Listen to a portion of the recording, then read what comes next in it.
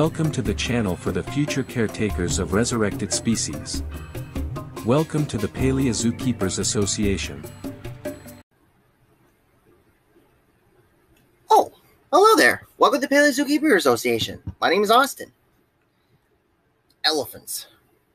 One of the most fascinating and interesting and magnificent families of mammals the, that ever existed. We have at least three living species them today. Back in the past, there were a whole variety of, of different species of elephants, including the famous uh, woolly mammoth to this uh, little little known uh, elephant. This is the Paleoloxodon, also known as the straight tusk elephant. Now there are different species of Paleoloxodon within the fossil record, with a couple of them surpassing the largest African elephants, making them the largest species of elephant that ever lived, and even the largest species of land mammal ever. And even surpassing the the extinct rhino Paraceratherium. Now, this is actually a very interesting um, other record that this genus of elephant is also known for. For the world's smallest species of advanced elephants, Paleoloxodon falconeri, or the dwarf elephant of Sicily. As mentioned, the dwarf elephant of Sicily, or the Sicilian dwarf elephant, is considered to be the smallest dwarf species of elephant that ever lived, with cows or females standing at a shoulder height of 80 centimeters or 2 feet and 7.5 inches and weighing just a little over 300 pounds, with, the, with their calves pretty much standing up of, of 33 centimeters or 1 one foot and one inch of the shoulder height, and weighing up to 17 pounds, at least for the newly born bulls.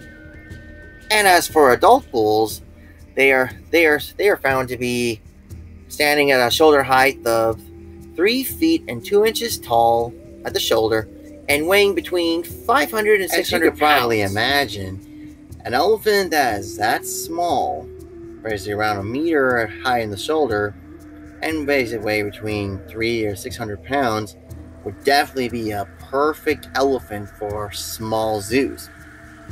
Maybe smaller to be able to contain them in captivity better, feeding and whatnot. But while they while their small size would definitely make them relatively easier to take care of in captivity, there will still be challenges in taking care of these little elephants. Just mostly because you gotta remember that while they definitely are smaller, they are still, by definition, elephants. And even without their size, elephants can be very tricky to take care of in captivity. In this video, I will just I will go through some of these through the Paleoloxodon falconeri, the scientific name for the Sicilian dwarf elephant. First topic we will discuss is the enclosure. With them being smaller than modern day species of elephants, and significantly smaller than that of other Paleoloxodon species, it's definitely safe to say that the minimal enclosure size for these dwarf elephants would be significantly smaller. With their size and weight being similar to that of modern day tapirs, we will use the guidelines for tapirs in captivity as a model for enclosure size for these elephants. Taking this into consideration, we can deduce that, for the time being, the recommended minimal requirements for the dwarf elephants should be that their indoor st- stalls or indoor space should be at least 10 by 10 or 100 square feet per elephant. And the outdoor enclosure should be at least be at minimum 200 square feet for each elephant. Now, take this assumption with uh, a pinch of salt, or at least a grain, because this is only based on like estimates from from animals of similar sizes. Behavior and other things like that would need to be taken into consideration. But until we actually do resurrect these elephants and and study them, these are this is the best that we this is the best assumption we can do for the moment. along with a few other things here and here and there in this video. So take keep that in mind. Along with the size of an enclosure, we also gotta know like what are the barriers we need for this enclosure.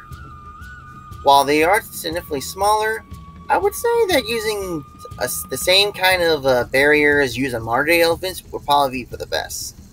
And this will include uh, moats and, and on fencing, primarily of solid walls and iron bars. Probably significantly smaller and probably not as strong to keep uh, to, to keep elephants in, at least modern day elephants, but at least strong enough to be able to withstand a 600 pound bull. Even though it may be a popular idea, don't think I don't recommend using chain link fences to contain these elephants, because while they are small enough to be able to, in theory, be contained by chain link fences, that they can still have some problems, especially considering that while they're smaller, they are still elephants.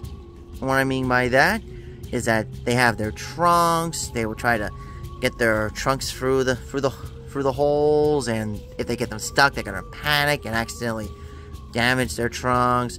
There's also tusks, and we learned earlier that only the males have the tusk, and if they try to get their tusk through the uh, chain link, then it's gonna be an issue. So, I would recommend not using chain link fences for these dwarf elephants. One form of barrier that would definitely be useful for, for these dwarf elephants is electric wires. Now, you might now you gotta be uh, careful with this, especially since oh, elephants have been known to occasionally grab onto electric wire if they if they're not conditioned on dealing with it. And when they grab grab onto it or wrap their trunks around the, the wire, the electricity will go through them and they will not be able to let go.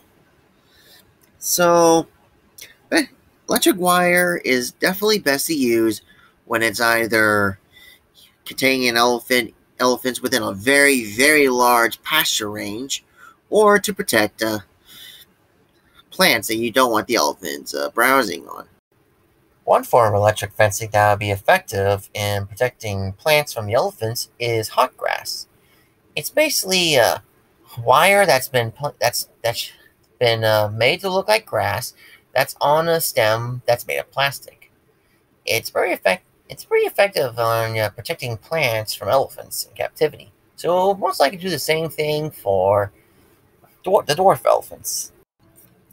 While I will definitely stand of using solid walls and metal bars to fences to be able to contain these elephants like we would with modern day elephants, you will obviously need to make some adjustments to them in order to contain the elephants properly. For one, definitely make certain that they are smaller, like probably make the fences like six or seven feet tall, so that that way that way even when the elephants rear up, they won't be they won't attempt to do anything. But also definitely modify the spaces uh, between the bars not only to to be able to contain the the adults properly, but also to make certain that the calves, if you do breeding, won't be able to crawl out. One idea is that that the bars in the lower part of the fence panel should be should be significantly shorter than those at the top. And to add on to it, probably some woven wire. That way the elephants won't be able to crawl under the fence, especially the calves. On a side note, as we talk about containing the dwarf elephants, let's do a little quick note on how to transport them as well. When transporting out elephants in captivity, it gets very, their large size makes it very difficult. You need uh, specialized equipment, uh, you need semi-trucks and trailers, uh, you need large shipping containers in order to transport them. And this can be very, very time lengthy, expensive, and so on. But with dwarf elephants, especially since they are like a meter tall, weigh between three to six hundred pounds, it's definitely possible that in theory, a stock trailer like this could be able to transport a, a small herd, or at least a couple individual elephants.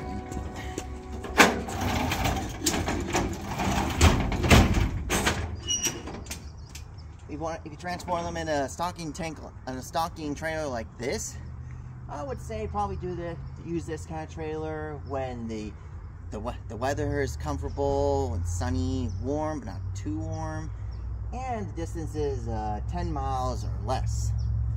Now, with now with transport transport these little elephants, while they are definitely smaller than modern elephants, they are still elephants. So you gotta take this into consideration. Like they're still inquisitive and they still have those trunks. Like if you're gonna use a stock trailer like this, you might want to modify it with like a plates to be able to make sure they don't use their trunks to try to mess with the latches. And even and even so, you'll want to definitely want to hook a lock in here to keep the to either a keep people from getting in, or b if you can't be able to, to a panel here, keep the elephants keep the elephants from unlocking it. Now, using a trailer like this would probably be uh, probably a better a, a better deal for for you. For one, it's pretty much more sealed up. Less likely for the elephants to be able to come and reach to the latch. Also, since you could be able to have windows on these, you could be able to transport the elephants in, in comfort during uh, snowstorms or rain and other weather phenomenons and, and probably with some modifications like hooking like heater or maybe even an air conditioner, you could be able to have the elephants ride in comfort, especially if it's well over 10 miles. Thankfully, with their small size, this could this could definitely make transporting these little elephants very easy in theory. But just remember that there are still elephants. You still gotta consider that. But in theory, again, it's, it should be much more easier than dealing with modern day elephants. Now, with making any kind of enclosure, you definitely want them the enclosures to be nice. Not just look nice for the public, but also to be nice for the animals. And one of the ways to make them nice, both for visually to the public and uh, comfort wise to the animals, is vegetation, especially with the grasses, bushes, and trees. Now, with elephants, this gets a little tricky. With modern day elephants, they have, they have been known to be very destructive of vegetation, thanks to their insatiable appetites and foraging behavior. While the dwarf elephants are not exactly as, most likely would not be as big as destructive as their larger kin, they could possibly still be very destructive to the smaller plants, like grazing, and definitely be destructive on small trees and bushes and shrubs. So this is definitely something to take consideration. Any bushes, trees, or shrubs you want to protect, you're definitely going to need to use barriers such as electric fencing and perhaps even some large boulders.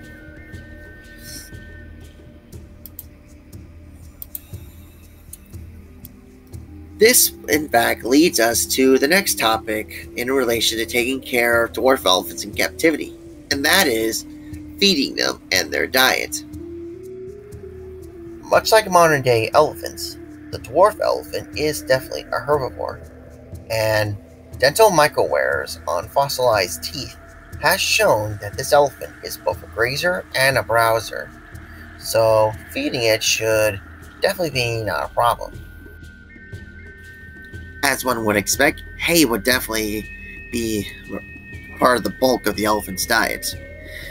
The best hay to go for, at least for the elephants of any variety, is Timothy hay, since it has the right amount of nutritional requirements. Not too high of protein, but has a, a good amount of fiber in it. Even though I said hay would take a bulk of their diet, browse, basically uh, branches and twigs from a trim uh, non-toxic trees, is definitely important for the elephants. Not just for nutrition, but also for the dentition as well. Pelleted feed specifically made for wild herbivores both uh, grazing and browsing animals would definitely be a good supplement for the elephant's diet.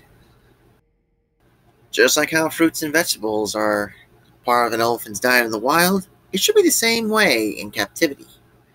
And fruit, be, fruit and vegetables, especially when they're cut up, would definitely be great for enrichment, training, and even a special little something that will be mentioned later in the video. If ever possible, providing a paddock of sorts with grass, trees, bushes, and shrubs growing there would definitely be a great way to feed the elephants and also give them some enrichment as well.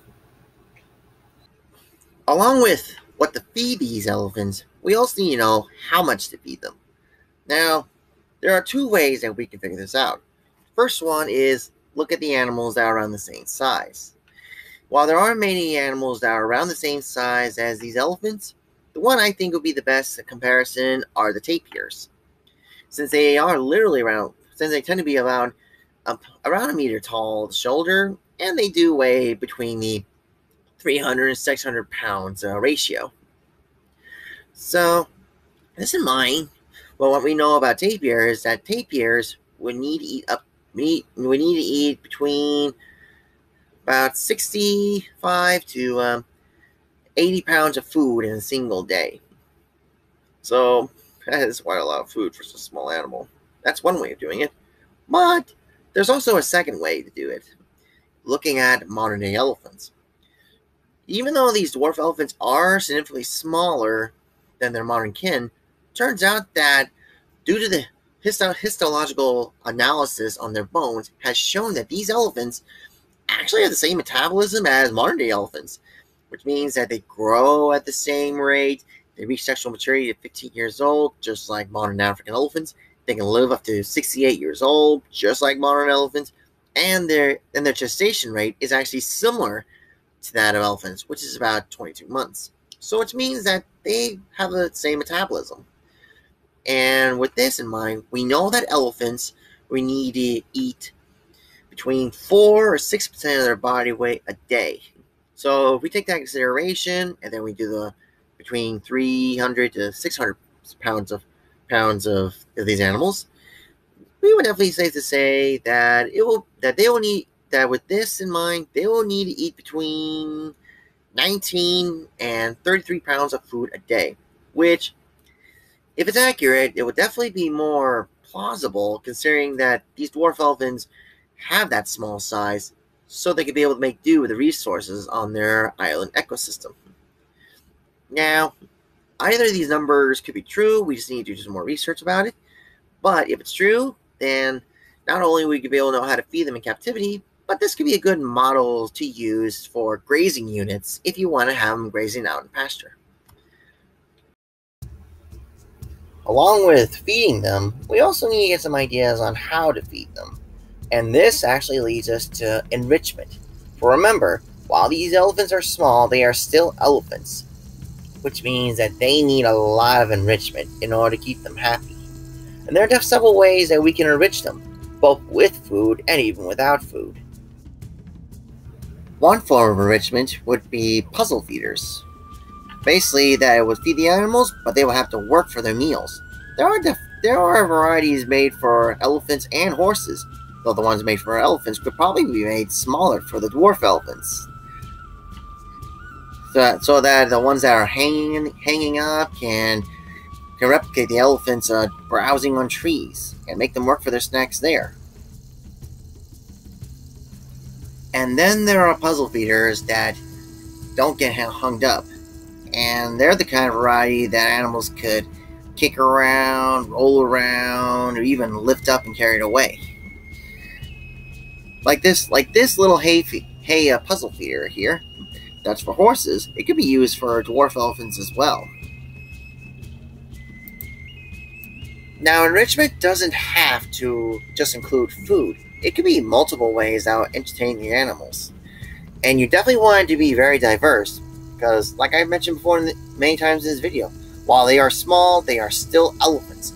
They're very, very intelligent social animals, and they definitely need something to keep them enriched. And there are different ways you could be able to do that. Back scratches, or opportunity to be able to scratch themselves against something, would definitely be both enriching for the animal, but it also will help them with skin care as well. Giving the elephants an opportunity to bathe, whether in water or mud, is definitely good for their enrichment and for their skin care. This could be as simple as providing a pool of water, a mud, a mud pile, to even an automatic shower system, like illustrated here. Even something as simple as a large ball or a barrel can be a great enrichment item for these little elephants. Those are just a few examples to different kind of enrichment items that these that you can give these elephants. But you also got to remember that even though they're small, they are still elephants. They still are very intelligent. So, by enrichment items, well, enrichment wise, you gotta get be very diverse and make sure you have a never make sure you repeat it too often because they can get bored very, very easily. And speaking of their intelligence, just like with modern day elephants, it's most likely they will have close family bonds and units. So when you're exhibiting these these dwarf elephants, best to have it as a family, a close knit family group. You have the matriarch, who is the peacekeeper, not the enforcer like people often mistake him to be, along with their aunts, sisters, daughters, rel- just like a, relatives in general. The bulls, bulls will most likely get kicked out, either living alone or in bachelor groups, and only come with the females when the females are are in heat. So these are some things you got to consider when improving improving the mental health for these little elephants. Now we have come to the part of the video that I'm pretty certain a lot of you who have been waiting for this video are very curious to know about the concept of the elephants in like a petting zoo sort of situation. Now, this is now many of you have definitely been waiting for like these elephants in a petting zoo environment and me to talk about them. And that's how I initially started when I uh, did when I was planning for this video. But then more and more I did some studying of both these elephants and their living relatives, more and more started to realize that these elephants in a petting zoo environment is not going to be exactly as uh, easy to do, do as like a petting zoo for like uh, ponies, goats, sheep, and other livestock like that. For several reasons. One, even though they are small and probably more easily manageable than their wild counterparts, they are still wild, so there anything can happen. Another is that, again, like I mentioned many times in this video, even though they are small, they are still elephants. Elephants can get very sensitive to situations. They're very inquisitive, and not. And this brings up a whole set of challenges compared to petting a cow or a horse. It can be done. It can be done, but there will be some guidelines that would need to be followed if you're able to do this properly. If you're able to have these uh, Paleoloxodon falconeri or dwarf elephants in a petting zoo situation, one of the first things that'll probably most likely be done is that it'll be most likely be cows that will be into the petting situation, and probably with their calves as well. I would definitely not recommend bringing the bulls into the petting situation, primarily because of A, they have tusk, they're the only gender that has tusk, and tusk can be very detrimental to to the guests or to anyone, just like horns would be.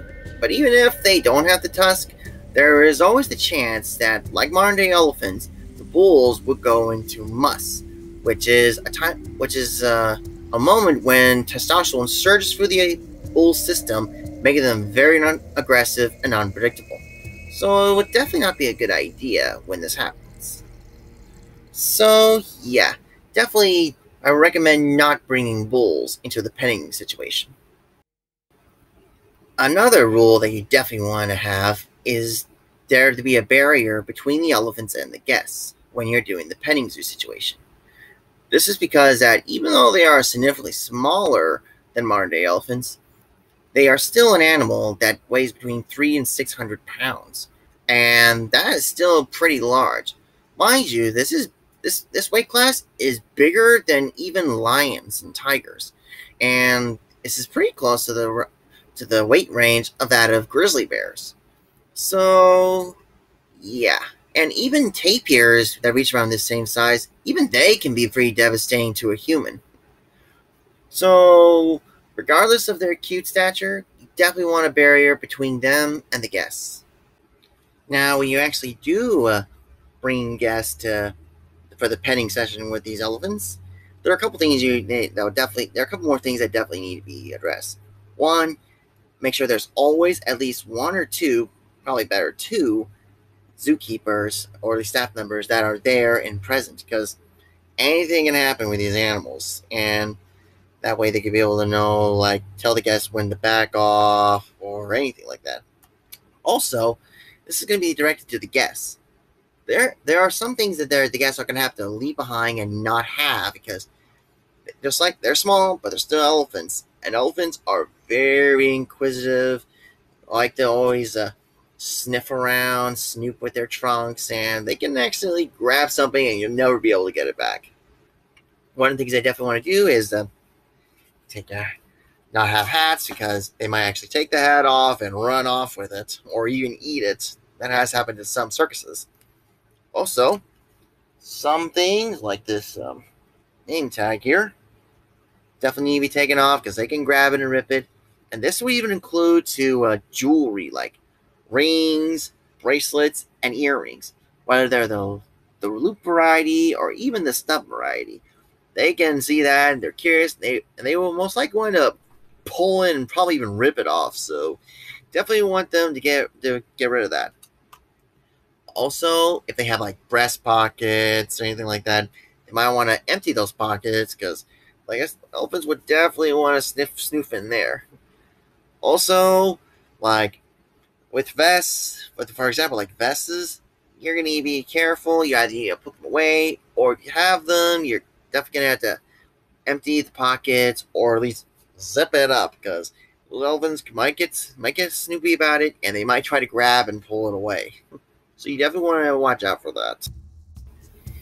Now, even with all this in mind, it's most likely you're probably not going to have the guests to be able to actually pet these elephants because like I said, they're te- they could be temperamental, flighty, and they can probably grab the guest's hands and pull them.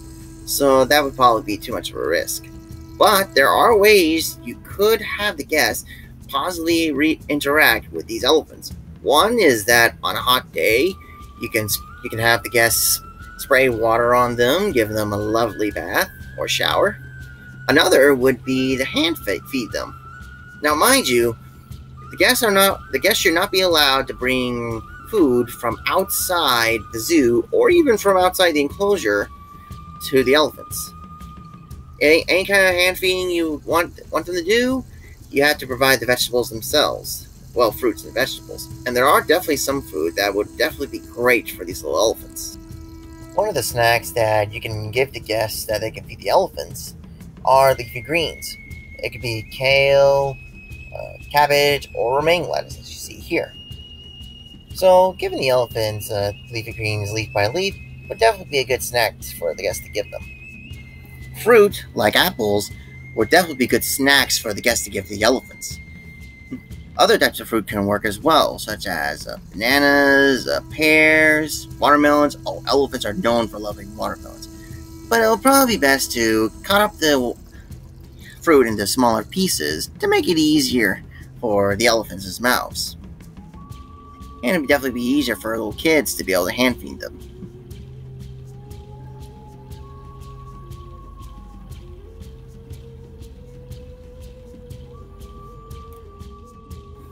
Vegetables, especially root vegetables like carrots, would definitely be a good treat for the elephants.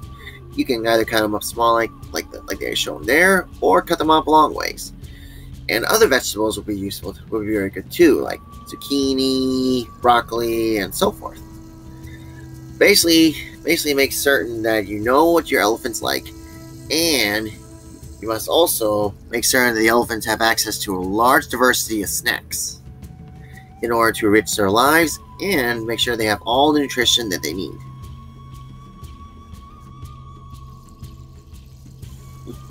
Taking all this in mind, but also making certain that you know your elephants, and you also make certain that the guests will be respectful, I would definitely say that taking these little elephants in a petting zoo setting would probably be done very positively. Every species, whether extinct or alive, is always going to be able to bring out their own unique set of challenges when they're brought into captivity. Dwarf elephants definitely no exception. The smaller size would definitely make several of its aspects significantly easier, like I can imagine a dwarf elephant doing well in a small zoo, or even a boutique zoo.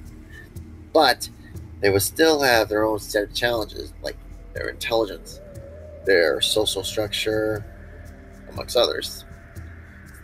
But I definitely think that since we since we improved so much on how to take care of elephants today, I definitely have no doubt that if we ever resurrect the dwarf elephant, we can definitely take make it definitely make certain that it has a really good life and succeed in doing so. Special thanks to artists Keenan Taylor and Samir Prehistorica. Thanks to Keenan Taylor, he, his commission was able to help this video come to life.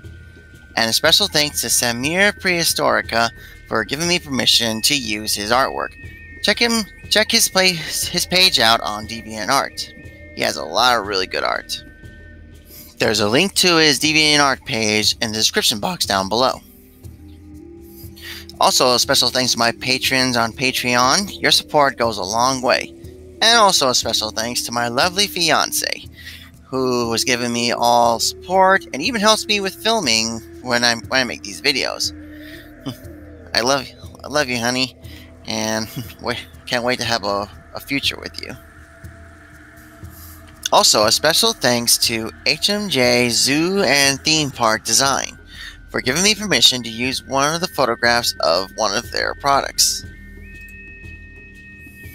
Thank you for watching this video, and I hope you all have a grand day. Adios!